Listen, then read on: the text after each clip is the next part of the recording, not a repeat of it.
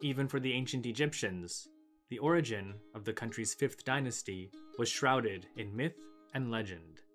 The version of the story that we have was written down in a document known as the Westcar Papyrus, believed to have been created around 1600 BC. The text contains five stories that may have been composed around 500 years earlier during Egypt's 12th dynasty. It's hard to tell because much of the text is missing, making our understanding of it a bit incomplete.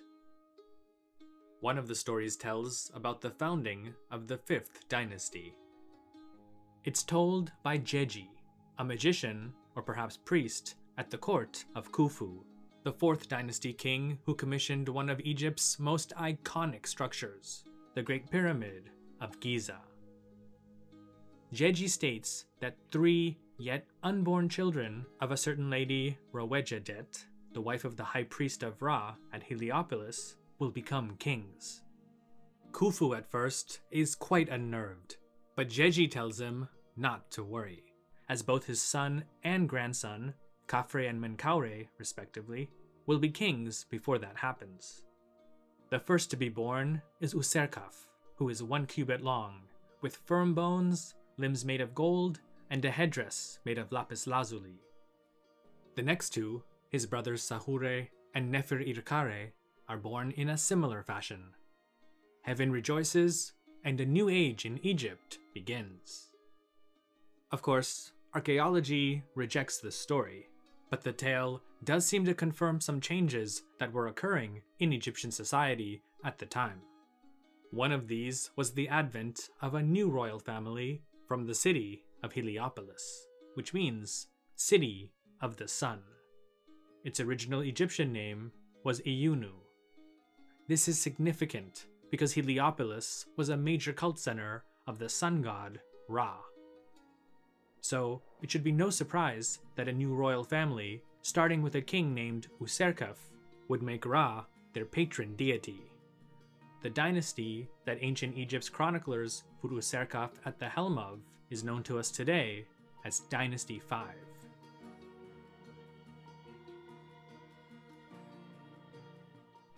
Given the archaeological evidence, Egyptologists are convinced that the kings of the 5th dynasty were not necessarily from a completely new family, but perhaps a branch of the old one. Most agree that Userkaf was the grandson of the 4th dynasty's third king, Djedefre, through his mother's side, though who his mother was is debated. Many scholars believe that it may have been a woman named Kentkawes. However, Kentkawes may have also been his wife and the daughter of the 4th dynasty's fifth king, Menkaure.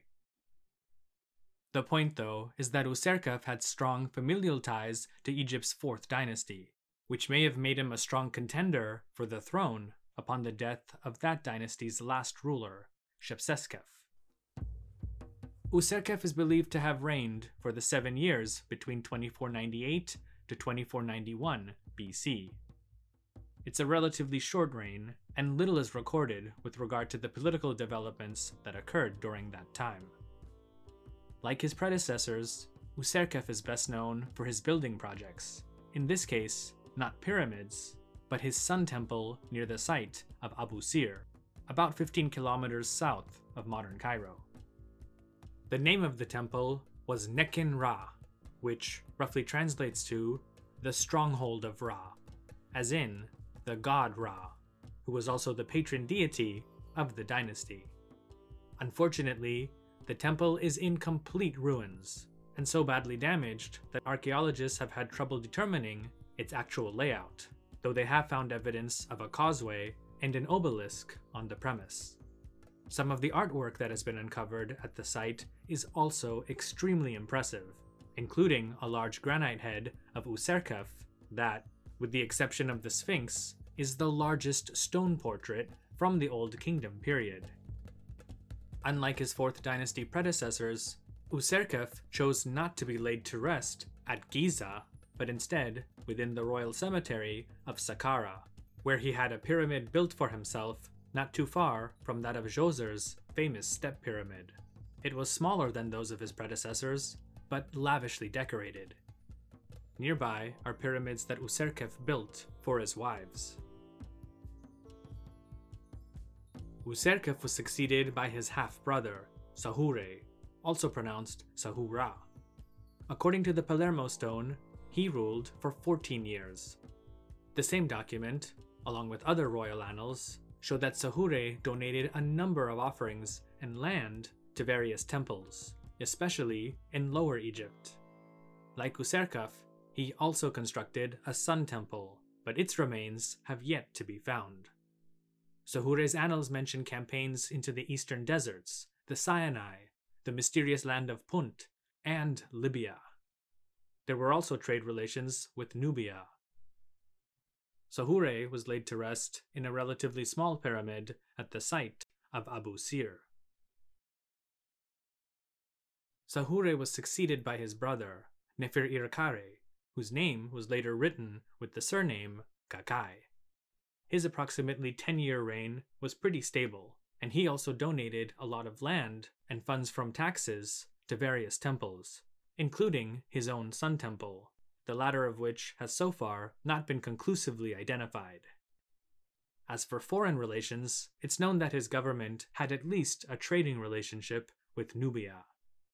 We know about this partly because many court officials during his reign had their biographies or autobiographies inscribed on the walls of their tombs which detailed some of their responsibilities as well as certain activities that they carried out for the king. Neferirkare's pyramid is also at Abusir, and it's the largest of any at that necropolis.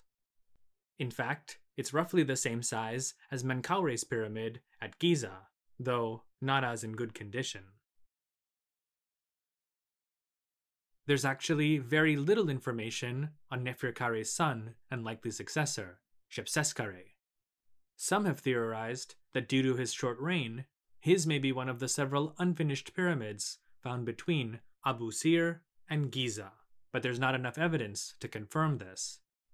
Most estimates of Shepseskare's reign are that he ruled for seven years, but there are some who believe that his time on the throne may have been only two years, with Egyptologist Miroslav Verner, who specializes in the Fifth Dynasty, stating that his time as Egypt's king may have actually been only a few months.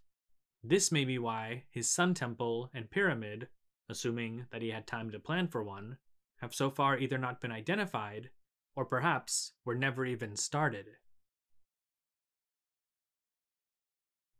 Another one of Neferirkare's sons, and the brother of Shepseskare, was Neferefre, who also went by the name Ranefere.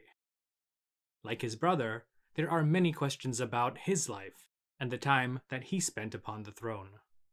Like his brother, and depending upon which Egyptologist you follow, he may have reigned for seven or two years.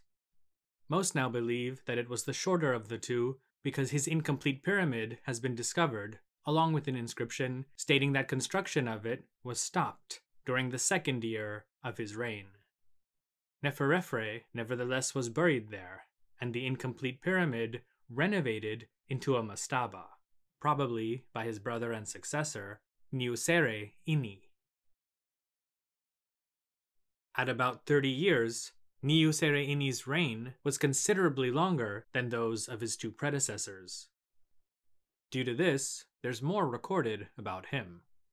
Egypt appears to have been both peaceful and prosperous during his reign, as there are not only several buildings credited to Niuserre, but he also went through significant efforts to restore and maintain the structures built by his predecessors. For himself, he commissioned at least three pyramids and several smaller ones for his queens and other members of his family, which are all at the necropolis of Abusir. In addition, his sun temple, known as the Joy of the Heart of Ra, is the largest and best preserved of the 5th Dynasty kings.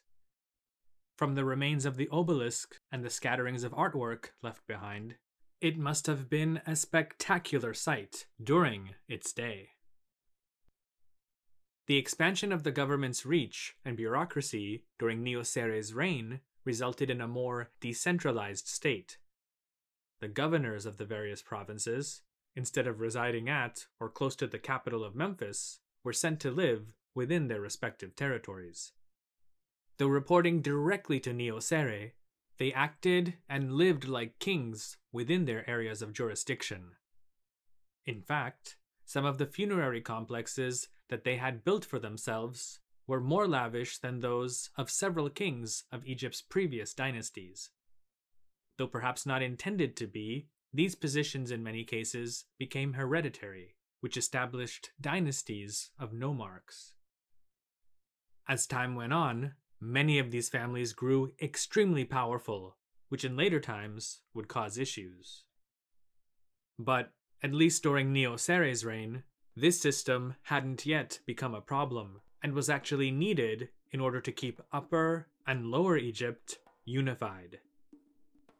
As for foreign affairs, there doesn't seem to have been any conflict with Egypt's neighbors, and commerce carried on between Egyptian ports in the Delta and the Levantine coast, especially with the city of Byblos. There was also a good deal of mining activity in the Sinai region. Overall, Niuserre must have been a popular king, because his funerary cult lived on for centuries, well into the period of Egyptian history known as the New Kingdom. Niuserre was succeeded by his son, Menkauhor, who continued the policies of his father. Despite the fact that there's a statue of Menkauhor wearing Sed festival garb, implying that he reigned for at least 30 years, the current archaeological evidence that we have seems to indicate that it was only 8. Menkauhor is believed to have been buried at what has become known as the Headless Pyramid at Saqqara, something that was more or less agreed upon by Egyptologists only in 2008. His sun temple, which is referenced in various texts, has so far not been discovered. Djedkare, also known as Djedkare Isesi, ruled for 40 years. His time on the throne was one of change, at least in comparison to his predecessors. For one, there's no record anywhere of him building a sun temple, which is a bit odd given his dynasty's devotion to the sun god, Ra. He also reformed the tax system, which brought in more revenue, more often, into state coffers. This was needed to support the growing bureaucracy, more positions, special titles, and new departments were created to help oversee the government's daily operations. Some of these titles included the Controller of the Two Thrones, He who is at the head of the King, the Master of Secrets and Royal Decrees, He of the Curtain, the Master of Largesse, Overseer of Upper Egypt, Overseer of the Foreign Country, and so on. There was now no such thing as small government in Egypt. While by this time dynasties of nomarchs in the provinces had been formed, this also became the case with many important ministerial positions.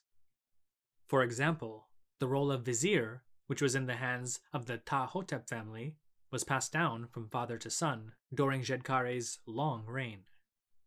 Their tombs have been discovered at Saqqara, while those of other important officials and their families have been uncovered at Giza.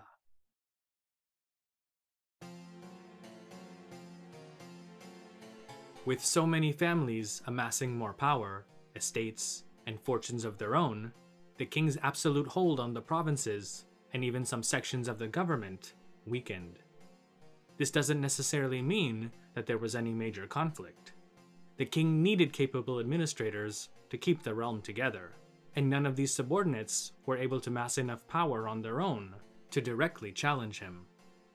Many scholars believe that the rise of so many influential Egyptian families with their own interests and agendas may have eventually led to the erosion of the central government's grip on the state, as well as the disorder that resulted during Egypt's first intermediate period. For now, though, things on the home front were stable. After a long and prosperous reign, Djedkare was laid to rest in a pyramid, complete with a mortuary temple at Saqqara. Finally, we come to the ninth and last king of the 5th dynasty, Djedkare's son, Unas, also known as Wenis. The Turin canon, or king list, states that he ruled for 30 years, and archaeological evidence seems to support this. His pyramid and burial complex are at Saqqara, not too far from the step pyramid of Djoser. Although largely in ruins, the layout of Unas's pyramid complex has been pretty well preserved. What's really impressive about the structure is not what's outside and surrounding the pyramid, but inside. In 1881, the now famed French Egyptologist Gaston Maspero entered the interior of the pyramid and discovered something quite spectacular. The antechamber and walls of the tomb were covered by long columns of inscriptions. Today, we call these pyramid texts.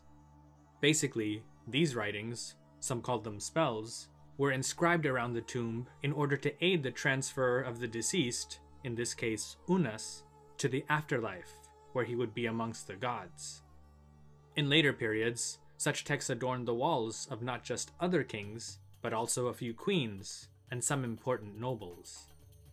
Though the first time we see such texts is in Unas's tomb, Egyptologists have determined that the language or dialect of the texts dates from a time long before his reign, and so it's believed that they'd been passed down over generations and committed to stone only at the very end of the 5th dynasty. For all we know, Unas's reign was similar to those of his predecessors. Nomarchs and government ministers seem to have increased their power, which can be seen by their elaborate tombs throughout the country.